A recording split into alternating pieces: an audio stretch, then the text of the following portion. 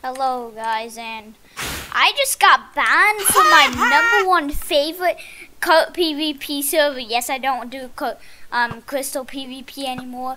Yep, um, Bruh. reason hacked client. Two days. Two days for something I didn't do. All, all of you guys know if you watch my channel is I use Lunar client. Not a like Meteor client, Panda client, Cherry client or any of those hacked ones. I just use Lunar. And so somebody basically went up with, to me with the TNT minecart. Uh, and somebody was like, yo, I should fill up this. And then I got blasted back like usual. and then it thought I was using AC.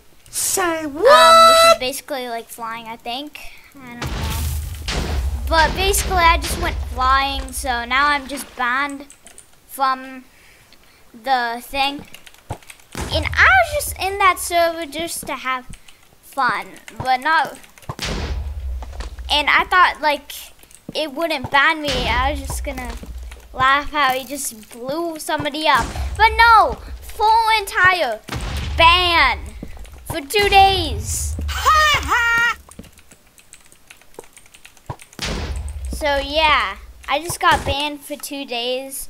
And what I was really just doing is, um, by the way, here's the server IP, boxprac um, dot minehut dot gg. And so basically, and also one other, if you go to practice on this, go to practice, you can also cart PvP, and now I just have to stick to this. I got, now I just have to wait for my opponent. So technically I'm not hacking, but I'm also kind of using a client. It's not a hacked one, I know, because a lot of other YouTubers use this to like get my um, one thing, which is hitboxes. Um, my custom crosshair, you can't really get this crosshair and um, yeah, a lot of the stuff that I you see on screen, like my um, yeah, whatever moving the um keystrokes. I I don't know. Um, these. So I'm not using any hacked clients that like give me an unfair advantage. So yeah, I just want to look let all the people know and maybe even get unbanned.